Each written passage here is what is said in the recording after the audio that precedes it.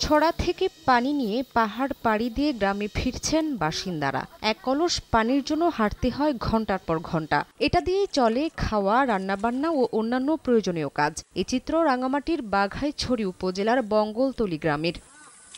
শুধু বঙ্গলতলি নয় জেলার কাউখালী লংগদু কাপ্তাই বিলাইছড়ি জুরাছড়ির উপজেলার দুর্গম গ্রামগুলোর বাসিন্দারাও রয়েছেন সুপেয় পানি সংকটে। সারা বছর স্থানীয় ঝিরি ঝর্ণার উপর নির্ভর করে চলতে হয় তাদের। তবে শুষ্ক মৌসুমে ঝর্ণায় পানি না থাকায় তার তলদেশ গর্ত করে পানি সংগ্রহ করতে হয়। এক কলস পানি সংগ্রহ করতে সময় লাগে পনেরো থেকে বিশ মিনিট। আমরা জন্মগত হইতে এখানে মানে কষ্টভোগ করতেছি। এমন যে সমস্যা খাবার পানিও থাকে না।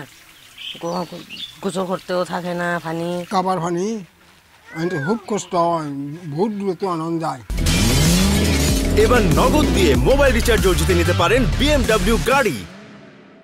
আপাতত প্রাকৃতিক উৎস থেকেই সমস্যার সমাধান খুঁজছে জনস্বাস্থ্য প্রকৌশল বিভাগ। আর সুপেয় পানির সমস্যা সমাধানে একটি প্রকল্প হাতে নেওয়া হচ্ছে বলে জানিয়েছে জেলা পরিষদ। যেখানে রক লেয়ারের কারণে আমরা আন্ডারগ্রাউন্ড একুইফারটা অতটুকু আমাদের কনভেনশনাল টেকনোলজিতে যেখানে আমরা রিচ করতে পারছি না, সেখানকার জন্য আমাদের রুরাল পাইপ নেটওয়ার্ক সাপ্লাই স্কিমের আওতায় আমরা আরও কিছু প্রোডাক্ট নিয়ে কাজ করছি। বিশেষ একটা প্রকল্প আমরা সাবমিট করেছি, যেটা হয়তো প্ল্যানিং মিনিস্ট্রিতে এখন বিবেচনাধীন আছে। তো সেটা পাশ আসলে পরে আমার মনে হয় যে ব্যাপক এলাকায় আমরা কাজ হাতে নিতে পারব। জনস্বাস্থ্য প্রকৌশল বিভাগের তথ্য মতে, জেলার সাঁত্রিশ ভাগ মানুষ সুপেয় পানির আওতার বাহিরে রয়েছেন। সমসংবাদ, রাঙামাটি।